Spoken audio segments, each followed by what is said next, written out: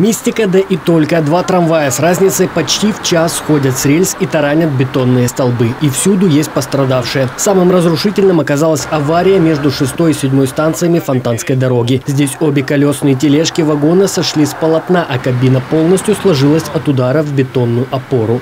Подумали, что что-то взорвалось именно так. Очевидцы говорят о трамвайной аварии на фонтане. Вагон, следовавший по маршруту номер 17, не просто сошел с рельс, он еще и снес столб с электропроводами. Сейчас на месте аварийной бригады спешно ликвидируют последствия аварии, дабы возобновить движение по этой линии.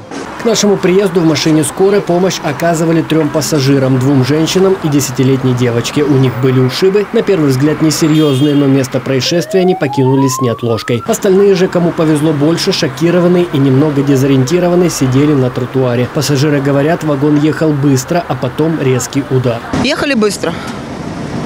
И скорее всего, что вот кусок рельса отошел, и мы влетели в столб, я так поняла.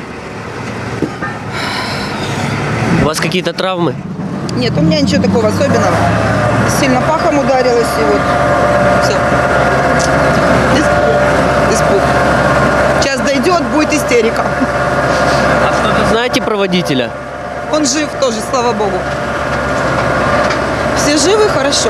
Очевидцы случившегося говорят, что звук удара напоминал взрыв. На него и обернулись, а потом уже увидели, как трамвай сносит столб. Как будто взрыв, такое ощущение, что, что поворачиваясь, вижу, трамвай еще летит, вот, вот, вот боком врезается в столб, и все, и становится резко, останавливается просто. Они состояли, он начал открывать через переднюю дверь, всех начал ну, высовывать. Ну, и все вышли вроде сами, все нормально. То есть они были все в шоке, поэтому, не знаю, то есть все такие в панике были, все вышли, не знаю даже, ну, даже что было. А про водителя что-то знаете?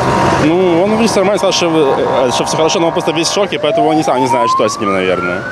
Потому что он, он, он такой, глаза просто стеклянные. Через несколько часов на странице в Facebook Горэлектротранс сообщил, что причиной аварии стал какой-то посторонний предмет. Однако по неофициальной информации, озвученной работниками не на камеру, вполне вероятно водитель превысил скорость и трамвай выпрыгнул с колеи на вот этом вот стыке. Замечу, что следы схода как раз начинаются в этом месте. Впрочем, слово за следствием. В информационной тени случившегося осталась первая авария на Люздорской дороге.